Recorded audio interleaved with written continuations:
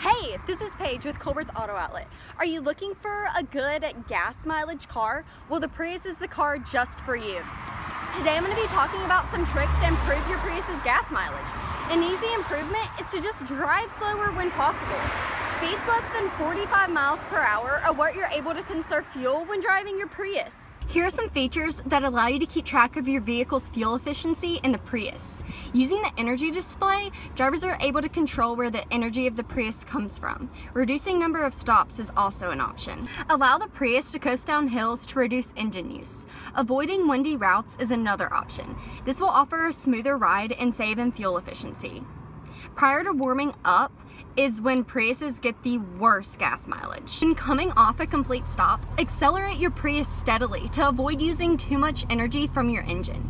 Speeding up quickly means you accelerate quickly, and then you maintain your desired speed. Keeping your Prius at 55 miles per hour or lower is an easy way to get a little extra of your tank. With these tips, it's easy to get the most out of your Prius. If you're looking for a Prius, come by Colbert's Auto Outlet today. Thanks.